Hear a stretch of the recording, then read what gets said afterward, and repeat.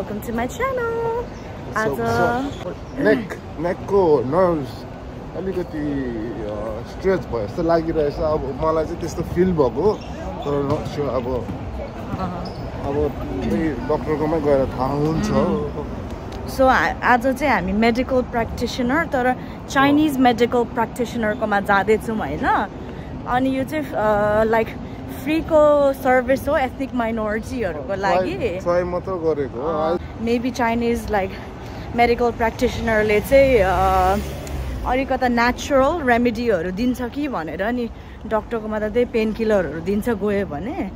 त्यही भएर यो वेमा चाहिँ हेल्प हुन्छ कि भनेर हामी फर्स्ट टाइम चाइनिज मेडिकल प्र्याक्टिसनरकोमा जाँदैछौँ। आजको एक्सपिरियन्स कस्तो हुन्छ हाम्रो? केही पनि एक्सपेक्टेसन छैन। म किनभने कहिले गएकै छैन नि त हामी।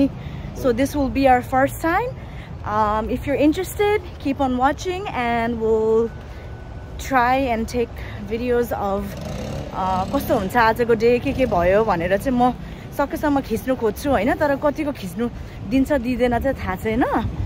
यो एरियामा चाहिँ हामी फर्स्ट टाइम आएको छौँ है। सायद यो ग्रिन बिल्डिङ होला है कान्छ? अनि यहाँ चाहिँ पक्का प्रोफेसनल मेडिकल प्र्याक्टिसनर हो। उनीहरू भलिन्टियर गरिरहेको छ सो रेस्पेक्टफुल हुनुको लागि चाहिँ हामी टाइममा आउनुपर्छ विच इज हामी नौ बजी आइपुग्नुपर्छ अहिले कति बज्यो? ठ्याक्क एट फिफ्टी फाइभ भएको छ। So I think this is it यही रहेछ। बाहिर लाइन लागिरहेछ मान्छेहरू। अहिले चाहिँ रेजिस्ट्रेसन हुँदैछ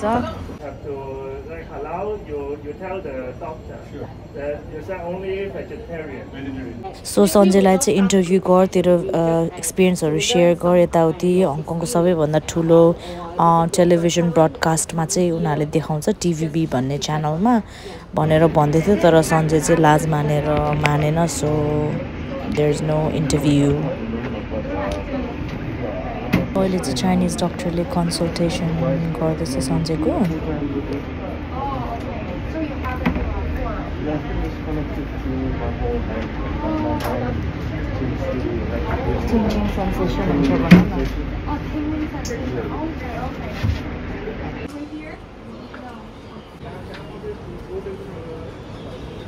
हामी त उता युनलङबाट आएको झन् साह्रै भएन। साह्रै दुख्यो भनेर अनि लु नि त नि खै दुईतिरै खोजिदियो त अब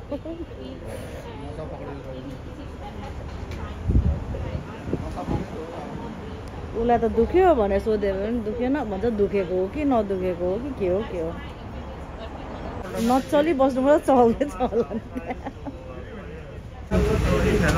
Yeah,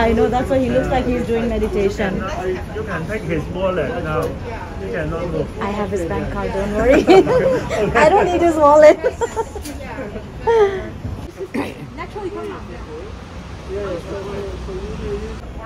अबे कसरी घुसार्न सन्चै चाहिँ यहाँ भर्खर एक्युपङ्क्चर अनि कपिङ गरेर निस्क्यो। मास्क लगाउँदा खान्छ यहाँ। मार्छ अहिले। कति निकै पो टाइम लाग्यो त नि? एक घन्टै पो लाग्यो। पन्ध्र मिनट एक्युपङ्क्चर गरेको अनि कपिङ फाइभ मिनट्स तर सोध्न तिमीलाई के कसो मजाले सबै सोद्धाखेरि त कस्तो ढिलो टाइम लाग्यो नि होइन? अहिले कस्तो हात फिल कस्तो भइरहेछ घाँटी हात त्यो अब लाइट लाइट फिल भयो। त्यो नर्सले पनि भयो टु पेनफुल भयो तिमीलाई? होइन। तिम्रो पेनफुलै हुन्छ। अब निडल तिम्रो मासुमा हाल्दा कस्तो फिल हुन्छ? साह्रो दुख्छ नि। म त इन्जेक्सन लगाएको जस्तो मात्र हुन्छ होला भनेको त। तिम्रो इन्जेक्सनको निडलले चाहिँ कति कति थ्री एमएम जस्तो हुन्छ होला। यो त अनि यत्रो लामो हुन्छ। तर तिमीलाई ओभरअल कस्तो अहिले त वर्सिटै भयो? फिफ्टी एमएम जति अहिले नि तिमीलाई? मलाई चाहिँ अहिले हल्का फिल भयो। हो भन्नाले खास मेरो जहिले दुख्ने पनि होइन नि त त्यो पेन कोही कोही बेला दुख्थ्यो दिनमा एकपटक दुई पटक। अहिले चाहिँ गाउँमा के के पेन भएको छैन भइरहेछ यस्तो साह्रो टोइलेट जानु मन छ है म क्या होल्ड गरेर यति लङ बोलेँ अनि यो चाहिँ एथनिक माइनोरिटीहरूको लागि सर्भिस थियो नि त होइन अनि हङकङको चाहिँ ठुलो टेलिभिजन ब्रडकास्ट गर्ने कम्पनीले चाहिँ इन्टरभ्यू गर्ने भन्दै थियो यो सन्जय नमानेर यार म भए त गर्थेँ मैले त्यो नर्सलाई पनि भने तेरो हस्बेन्डलाई भन्न भन्दै थियो मैले चाहिँ if I was him I would have done it भनेर नर्स हो नि त त्यो अर्को इन्डियन केटी ए पाकिस्तानी केटी त। नर्स रहेछ अनि I would have done it भनेर भन्दै थियो अनि मैले होइन त्यस्तो बोल्नु नआउने त होइन खासै त्यस्तो तर उसलाई चाहिँ त्यो स्टेज लाइक त्यो क्यामरासँग साई फिल हुन्छ। त्यही भएर भनेर भने क्या मैले। तर मजाले गफ गरेँ साथी जस्तो पछि चाहिँ। अनि अरू अङ्कल पनि नेपाली। अङ्कल पनि आउनु भएको रहेछ। त्यो चाइनिज मेडिकेसन सर्भ यहाँ टोइलेट छैन? मरे यार म त। सर्भिसको लागि। अहिले चाहिँ हामी जोर्डनको विङ अनमा आएको छु किनभने मेरो चाहिँ फाउन्डेसनहरू के के सिद्धिएको थियो त्यो खोज्न आएको। So here we are everywhere sale Chinese new इयरको sale sale sale sale रहेछ नि त यहाँ त। चाहिँ सबै पोलोको वालेटहरू ब्यागहरू रहेछ। बोजूहरूलाई चाहिँ ठिक्क हुने रहेछ। म चाहिँ अब विङ अनबाट निस्केको किनभने मैले चाहिँ लरा मर्सियरको फाउन्डेसन खोजेको थिएँ खासमा। तर त्यो चाहिँ डिस्कन्टिन्यू भएको रहेछ। So they don't have it any more अनि अरू त्यहाँ झन् डुल्नु थाल्यो भने चाहिँ अन्य नचाहिने नचाहिने कुराहरूमा स्पेन्ड हुन्छ पैसा and which I am trying to improve त्यही हो so this year I'm gonna work on saving money cause adulting is difficult अनि त्यही हो no shopping unnecessary stuff for me. हामी चाहिँ अहिले सन्जेको मन बाबालाई भेटेर लिभिङ प्लाजाभित्र फेरी लाइट हेर्नु जाँदैछ। क्याम्पिङको लागि कान्छ फेरी लाइट को कसलाई लाइसिदिनुपर्छ।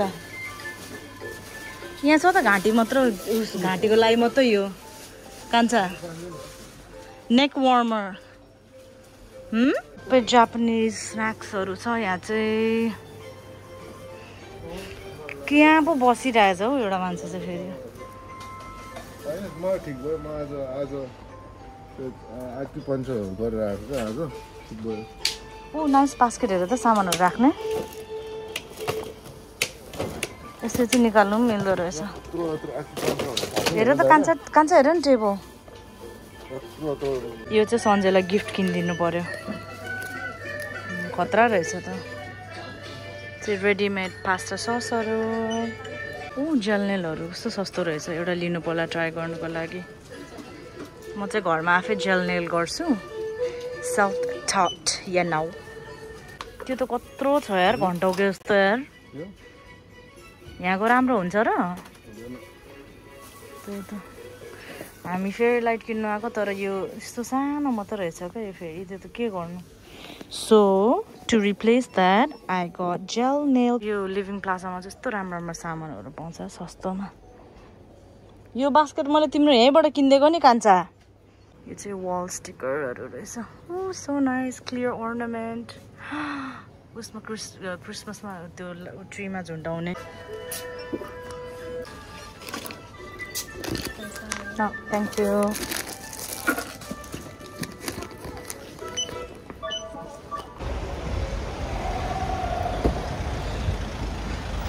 मलाई एक्लै छोडेर आयो बाँदर। मम्मी डनाउँदै हुनुहुन्छ यहाँ। स्पेसल डेलिभरी कफी लिएर ब्ल्याक कफी लिएर सिरियस भयो मामाको कफी भन्छ खान।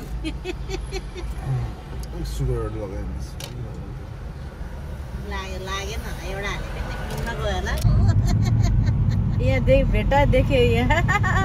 क्या मलाई यस्तो यो ठिक हुने रहेछ। एकजना चाहिँ गाडी कुदाउनु नआए पनि ठिक्क हुने। दामी छ त यो चाहिँ मलाई खतरा लाग्यो यो। कसको डगी गाडीभित्र छोडेर गएछ?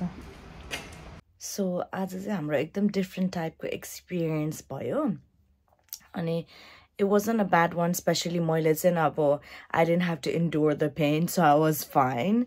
अनि त्यही हो please keep on watching my videos अनि सब्सक्राइब गरेको छैन भने please do subscribe to my channel wishing everyone happy Chinese new year and see you on the next one. Toodles!